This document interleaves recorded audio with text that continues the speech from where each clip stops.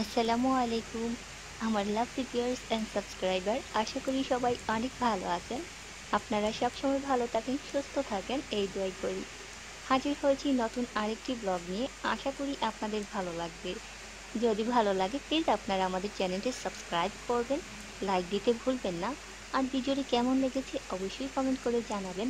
যেহেতু নতুন চ্যানেল আশা করি কীভাবে করব ঠিক বুঝতে পারছি না। তো যতটুকু পারছি করছি। তো আপনারা তারপরও আমাদেরকে জানাবেন যে আপনাদের কেমন লেগেছে।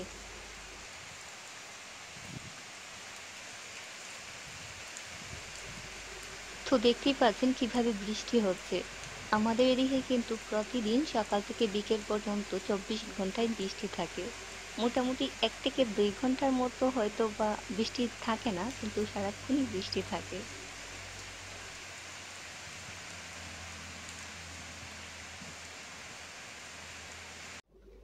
দেখতেই পাচ্ছেন আমাদের সবজি ক্ষেতের অবস্থা। তো এই পানিটা কিন্তু রোদ দিলে শুকিয়ে যাবে।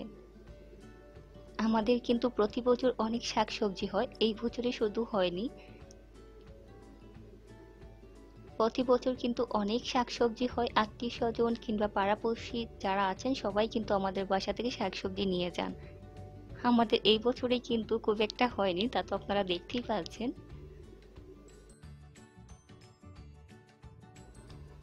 আমাদের এলাকাতে কিন্তু সবার বাড়িতেই কচু শাক আছে। কিন্তু আমাদের বাড়ির কচু শাকটা সবাই খুবই পছন্দ করেন, খেতে অনেক মজার। খেতে অনেকটাই মিষ্টি মানে রান্না করার পর মনে হয় যেন কেউ রান্না করলে চিনি দিয়েছে এমনই মিষ্টি। তো আমি জানি না কেন এত মিষ্টি, সবাই কিন্তু পছন্দ করে। আত্মীয় স্বজন হোক কিংবা পাড়া প্রতিবেশী সবাই কিন্তু খুবই পছন্দ করে আমাদের বাড়ির কচু শাক। যেহেতু আমাদের বাড়িতে অনেক পরিমাণে কচু শাক, তো খাওয়ার তো কেউ নেই, আমরা মাত্র ছয়জন সদস্য।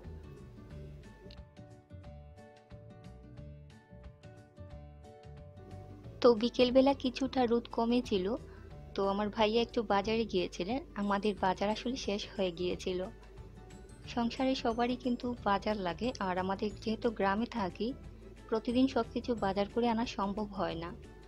আর প্রতিদিন দেখতেই পাচ্ছেন কীভাবে বৃষ্টি হয়। আর এই বৃষ্টির মাঝে তো যাওয়া তো সম্ভবই নয়। তো একসাথেই সব কিছু বাজার করে নিয়ে আসতে হয়। যেমন চাল, ডাল, আটা, তেল মানে একটা সংসারে যা লাগে তাই।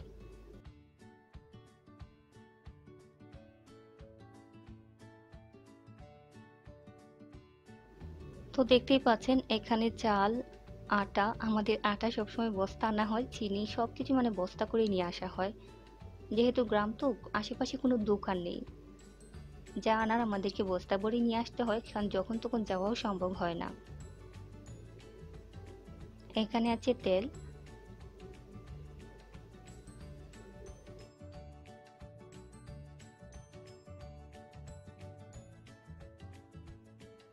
তো দেখতেই পাচ্ছেন, আমার ভাইয়া কিন্তু বাজারটা নামাচ্ছিলেন।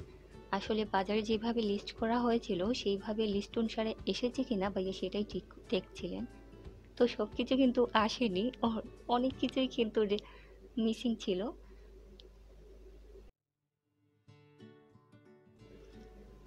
দেখতেই পাচ্ছেন, আমার ভাইয়া কিন্তু সব কিছু নামাচ্ছেন। এখানে মোটামুটি সব কিছুই আছে। আর সাথে হচ্ছে একটা বস্তা এখনও দেখানো হয়নি, ওইটাতে ছিল মোরগ আর কিছু ঝিঙ্গে আর পইটা পইটা মানে চিচিঙ্গা। ঝিঙ্গা আর চিচিঙ্গা, তো ওইগুলো আর বের করা হয়নি।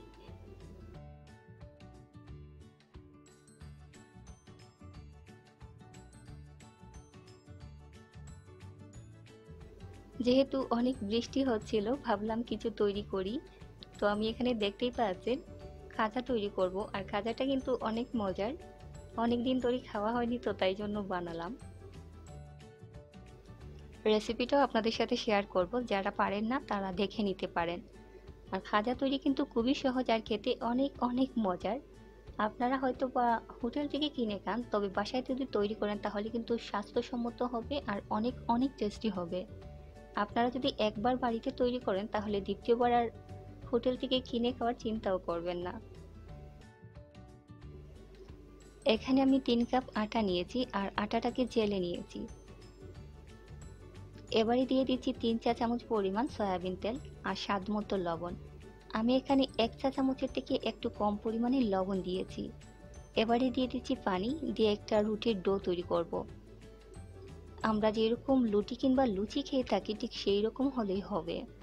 খুব বেশি কিন্তু নরম করা যাবে না।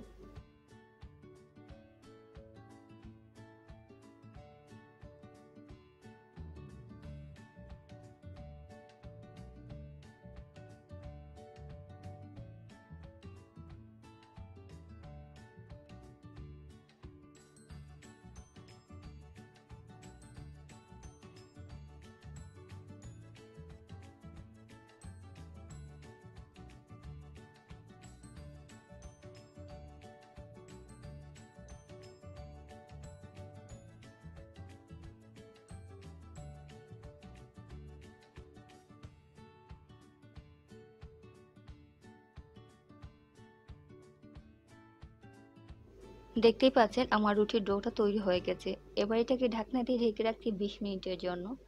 সেই বিশ মিনিটে আমি চিনি শিরাটা তৈরি করে নেব। বিশ মিনিট যে কোনো জিনিস রেস্টে রেখে দেবেন, এতে করে কিন্তু এগুলা ভাজার পর খুবই সুন্দর হয়।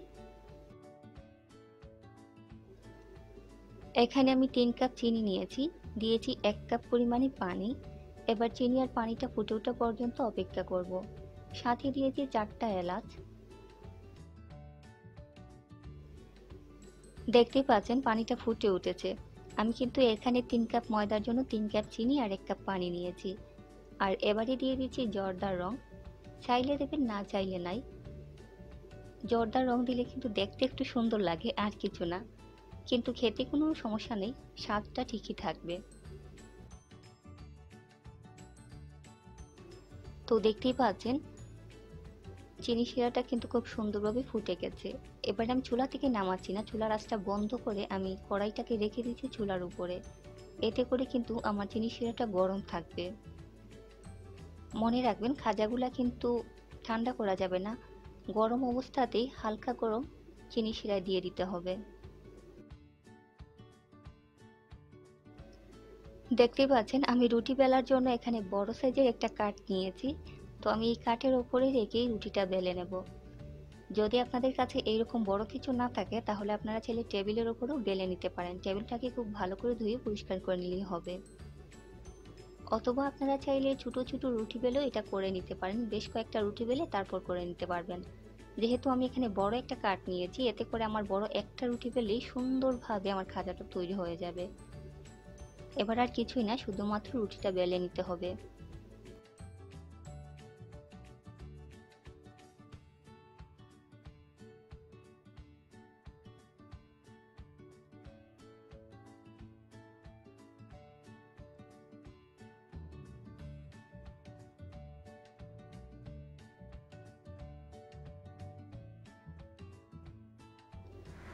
দেখুন, আমার রুটি বেলা হয়ে গেছে। এটা কিন্তু অনেক বড় একটা রুটি।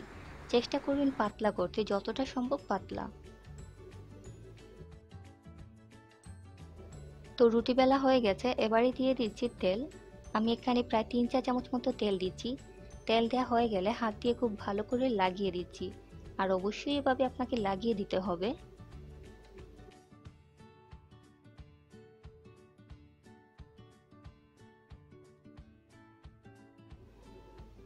এবারে দিয়ে দিচ্ছি শুকনো আটা। শুকনো আটা দিয়ে খুব আপনারা স্কিনে লক্ষ্য করুন কীভাবে দিচ্ছি। ঠিক এইভাবেই আপনাকে দিতে হবে। কতটুকু আটা লাগবে সেটা নির্ধারিত না, কারণ আপনি আপনার পছন্দ মতোই দিতে পারেন, তবে খুব বেশি দেওয়ার দরকার নেই। স্কিনে লক্ষ্য করলেই হবে আমি কতটুকু দিয়েছি। এবার এটাকে রুল করে নিতে হবে। তো আমি দেখতেই পাচ্ছেন একটা পাশ থেকে রুল করে নিয়ে আসছি।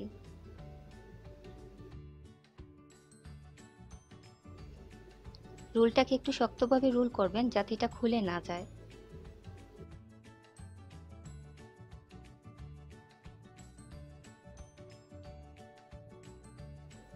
দেখতেই পাচ্ছেন, আমি কিন্তু সম্পূর্ণ রুটিটাকে রুল আকারে বেলে নিয়েছি। এবারে চারপাশে একটু পানি লাগিয়ে দিচ্ছি, এতে করে আমার রুটিটা আটকে যাবে আর খুলবে না। ভাজগুলা কিন্তু সুন্দরভাবেই আটকে যাবে। পানিটা আপনাকে অবশ্যই লাগাতে হবে।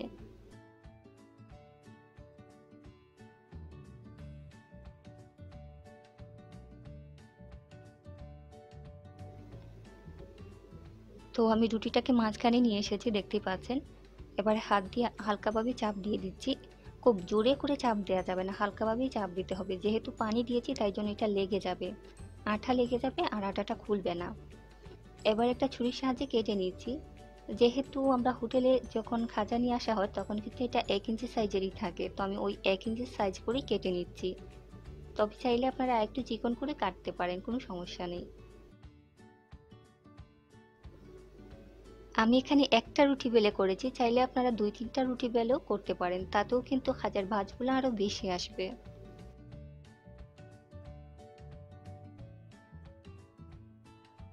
কাটা অংশটাকে কিন্তু হালকাভাবে ভেলে দিতে হবে। এভাবে হালকা বেলে দেবেন, খুব জোরে চাপ দিবেন না, তাহলে কিন্তু ভাজগুলো আর ফুলবে না। একেবারে চেপটা হয়ে যাবে, তাই জন্য চেষ্টা করবেন আলতোভাবে চাপ দিতে।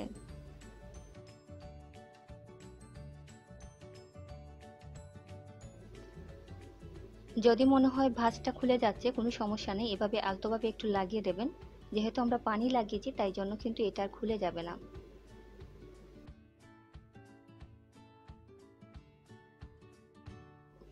অন্যদিকে কিন্তু আমি তেল বসিয়ে দিয়েছি গরম হওয়ার জন্য। তো প্রথম অবস্থায় চুলা আঁচটা হাই হিটে রেখে তেলটাকে গরম করে নিতে হবে। আর যখন তেলটা গরম হয়ে যাবে, তখনই কিন্তু চুলা আঁচটা লো এবং মিডিয়ামের মাঝামাঝি রাখতে হবে। চেষ্টা করবেন চুলা আঁচটা লোতে রেখে এগুলোকে ভেজে নিতে। এতে করে কিন্তু খুব সুন্দর করে ভাজা হবে। প্রতিটা লেয়ারই কিন্তু সুন্দরভাবে ভাজা হবে। যদি খুব বেশি আছে ভাজতে যান, তাহলে এগুলা কিন্তু ভাজা হবে না।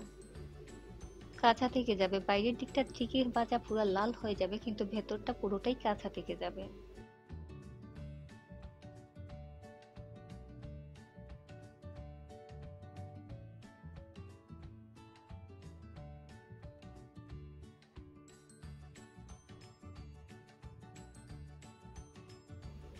তেলে দেওয়ার সাথে সাথে কিন্তু নাড়াচাড়া করবেন না। যখন দেখবেন দুই থেকে তিন মিনিট পর উপরে ভেসে উঠেছি তখন এগুলাকে উল্টে পাল্টে ভেজে নিতে হবে। আর এগুলো ভাজতে কিন্তু অনেকটা সময় লাগে। তাতেও কোনো সমস্যা নেই, এগুলো কিন্তু অনেক মজার হয়। একবার তৈরি করে খেয়ে দেখবেন, খুবই ভালো লাগবে।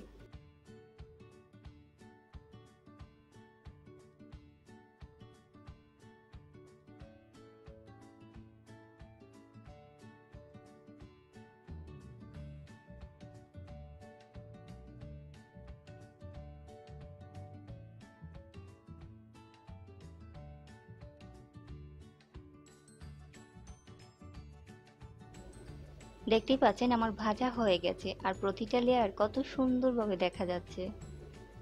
ভাজা হয়ে গেলে তেল থেকে তুলে সাথে সাথে চিনি শিরায় দিয়ে দিতে হবে, ঠান্ডা করা যাবে না। চিনি শিরায় দিয়ে মাত্র 30 সেকেন্ড রাখতে হবে, এর থেকে বেশি সময় রাখা উচিত না, এগুলা নরম হয়ে যাবে। চেষ্টা করবেন 30 সেকেন্ডের পর সাথে সাথে তুলে নিতে।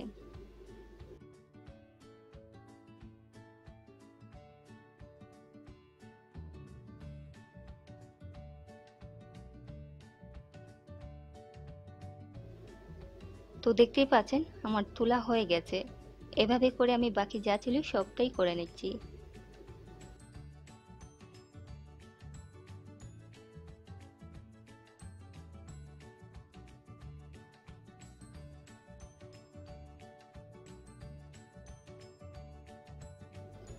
তো দেখতেই পাচ্ছেন, আমি যতটুকু চিনি শিরা করেছিলাম, এখানে অল্প পরিমাণে রয়ে গেছে।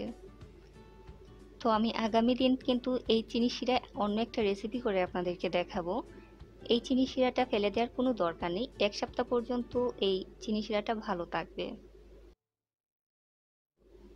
আশা করি আমাদের আজকের ব্লগটি আপনাদের কাছে ভালো লেগেছে। যদি ভালো লাগে তাহলে অবশ্যই লাইক দিতে ভুলবেন না।